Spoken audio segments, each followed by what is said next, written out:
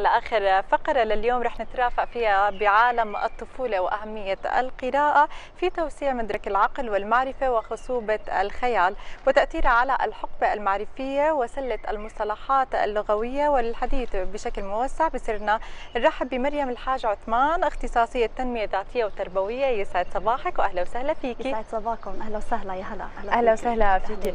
بالبداية خلينا نحكي آه نحن من إيمت لازم نمسك أولادنا الكتاب. أه. بأي عمر لازم نبلش وبأي عمر لازم ننتقل من الصورة للكتاب. للكتاب. هلا الكتاب كثير مهم للطفل وكثير مهم للإنسان بشكل عام صح. يعني. العمر اللي لازم نبلش فيه بالقراءة لطفلي وإنه مسكه كتاب إذا يمسك كتاب من عمر الشهرين. أما أنا أقرأ لطفلي من عمر اليوم.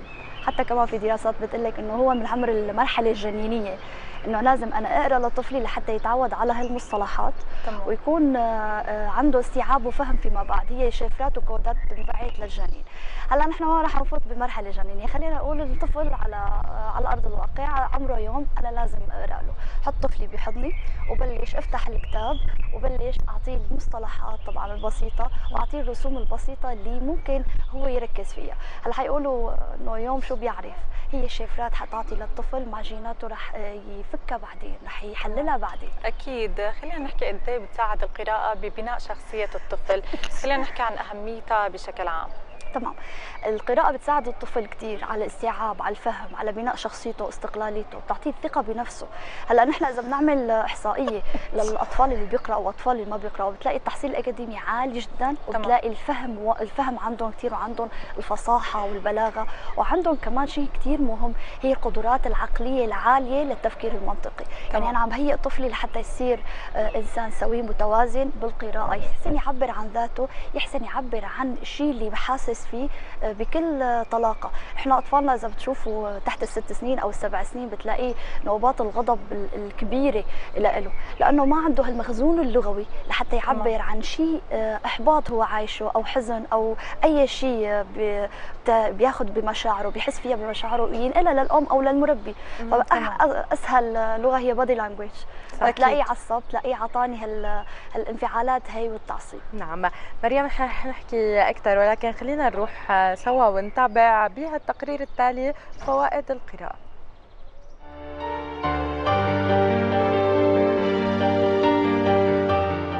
تتعدد فوائد القراءة للأطفال، فهي تساعد في تحسين مهارة القراءة وتمرين الدماغ وتحسين التركيز عند جلوس الطفل للاستماع إلى القصص. كما تساعد القراءة الطفل على فهم البيئة المحيطة به والتعرف على الأشخاص والأماكن والأحداث البعيدة عن تجاربهم الخاصة. تحسن القراءة المفردات والمهارات اللغوية، حيث يتعلم الطفل كلمات جديدة ويميز كيفية تكوين الجمل وفي معرفة استخدام الكلمات وخصائص اللغات الجديدة التي يتعلمها في القراءة والكتابة. تطور القراءة مخيلة الطفل فالدماغ يحول الأشياء التي يتم قراءتها إلى صور في مخيلة الشخص ما يساعد الطفل في توظيفها بحياته اليومية. تساعد القراءة في تنمية شعور الطفل بالأحداث وتخيل نفسه في مكانها وكيف سوف يتصرف فيها. المتعة حيث يمكن اللجوء إلى القراءة عند الشعور بالملل وتحسين الأداء الأكاديمي فالأطفال الذين يقرؤون يحققون نتائج أفضل في جميع المناهج التعليمية.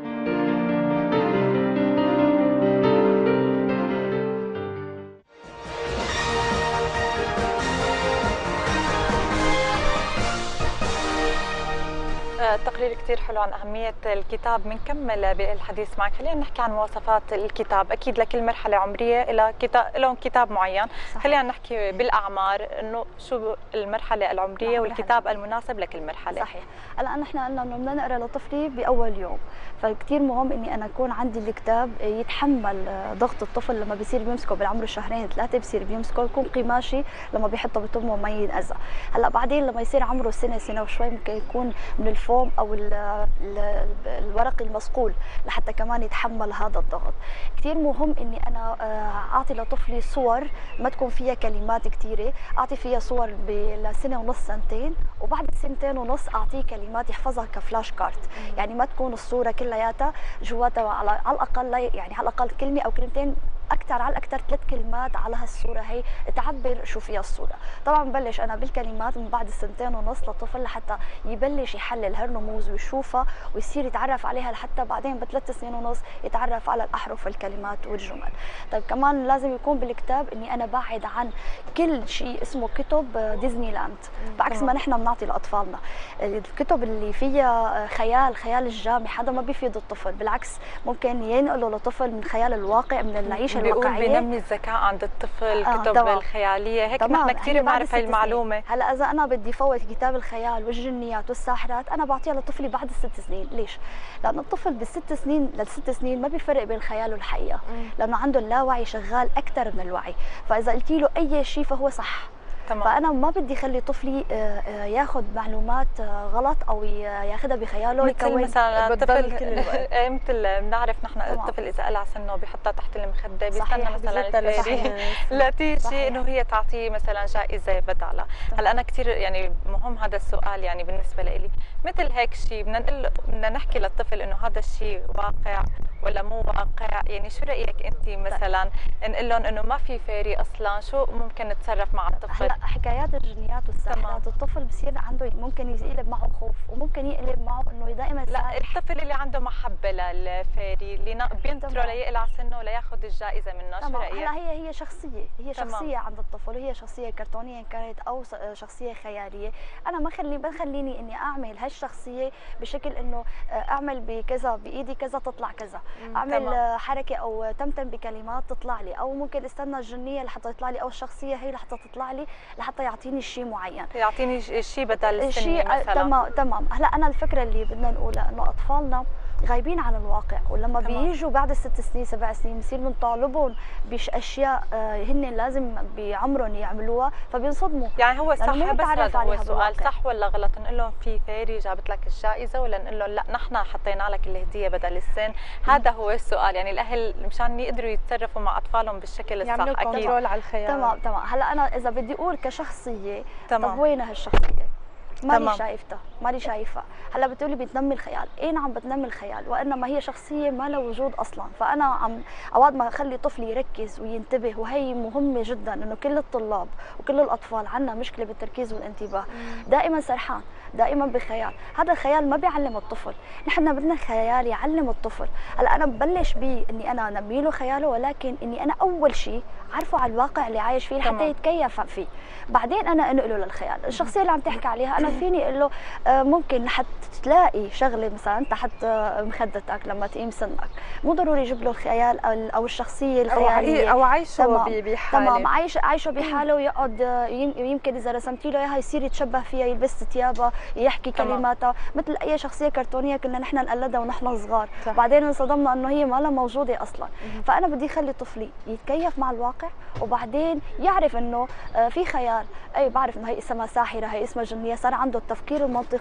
شغال وفعال بالست سنين. مم. أما تحت الست سنين الواقع أفضل يعني موسوعات علمية نباتات حيوانات.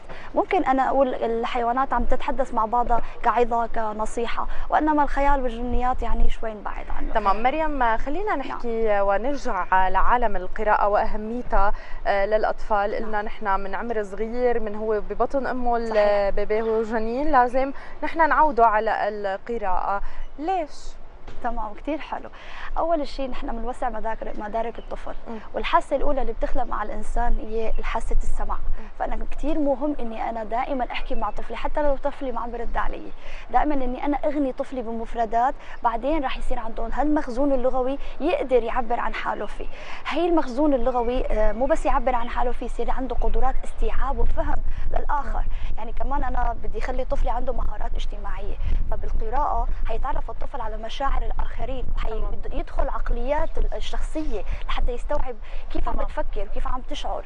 فأنا بالنهاية حأخذ قرار القرار الصح بناء على علي أنا وبناء على الآخر إني أنا ما أجرح مشاعره إني أنا أحطه بالصورة إني أنا كمان اكون فعال وعندي مهارات عالية اجتماعية. طيب هل بيعود الموبايل أو أي شيء تكنولوجيا عن الكتاب؟ ابدا. لا لا ما إذا بدنا نحكي عن الموبايل وهي بدك تقولي مثالية كثير إنه تحت الست سنين نبتعد تماما عن عن الكترون هلا سنتين ونص بنقول ممنوع آه، الكترون. بعد السنتين ونص ممكن نسمح له ربع ساعة نص ساعة بالكثير للست سنين. وإنما بيقولوا لك كتب PDF نحن بنرفض هذا الشيء على الأطفال. نحن كبار okay ما في مشكلة. تمام. نحن كبار ما كثير بنتقبلها ما بحب ابدا تمام. ونحن بنتضايق منها الإضاءة حتسبب لنا مشاكل بالبصر وال وال حتى غير بس تجيبي كتاب وتقرايه له خصوصية وفي حميميه لما تحطي طفلك بحضنك هو عم بيقلب الصفحات. هلا إذا بدنا ناخذ البروتوكولات كيف ممكن أنا أقرأ لطفلي؟ كثير هي حلو. كثير مهم. مثلا في أهالي ما لهم خلق بيحكوا لك ال story أو القصة لطفلهم بطريقة بشكل بشكل ممل. بشكل جدي وممل. أصلا الطفل بيكره القراءة من وراء وما بيغير لازم يغيروا طبقات صوتهم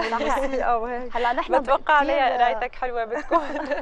هلا كثير نحن بندور على أطفال إنه يكونوا ناجحين وأذكياء بنعمل جهدنا كثير وبندور لهم على أحسن مدارس وأحسن أساتذة لحتى فعلا يكونوا ناجحين وأذكياء. وبنغفل عن أهم عنصر اللي هو القراءة. القراءة هي اللي حتبحث تخلي الطفل يبحث عن المعلومة ما ياخذ المعلومة جاهزة ويستهلكها من تمام. الأستاذ أو المعلم. هلأ البروتوكولات اللي لازم الأم أو الأب أو أي مربي ممكن تيتي عم جده إنه ياخذها مع الطفل لحتى يقرأ له ويحفزه على القراءة ويحببه بالقراءة إنه يحطه بحضنه أو جنبه. يعني يخلي تجربة شيقة للقراءة تكون فعلا ممتعة يتذكر فيها ذكريات جميلة. إني أنا كنت عم بقرأ القصة الفلانية وفلانية مع عمي أو أبي أو أمي. كثير مهم إني أنا أساوي هاي الذكريات الجميلة. كثير مهم إني أنا ما أقول لطفلي عم بنط من هون لهون هو ما عم بيسمعني هو عم بيسمعك. هو عم بيتحرك عنده حركات آه، كبيرة بده ينط بده يتشقلق ولما هو معك سمعانك. فلا تقولي طفلي عم بينطط هون وهون ما له سمعانك انت مركز. أنت تم... هو مركز وإنما مركز بطريقته. فأنت اقري على كل الأحوال حتى لو عم بيتحرك. نعم. كمان إنه ممكن كثير إنه هو يقلب الصفحات. يعني خليه هو يقلب الصفحة خليه يركز بالألوان خليه يركز بالصورة وقولي له شو عم بيعملوا مثلا ثعلب والأرنب؟ شو عم بيساووا؟ شو رأيك حتسي شو رأيك الأحداث اللي بعدها بهالصفحة؟ شو ممكن تكون؟ هي التجربة الممتعة والشيقة ما تكون تجربة تمام قبل ما نختم في سؤال دائما الأولاد بيسألوا ليش؟ مين؟ مين؟ شوفي شوفي ليش؟ صحيح. ليش؟ ليش؟ أسئلة صحيح. أسئلة أسئلة. هل صح إنه نحن نجاوبهم لأطفال؟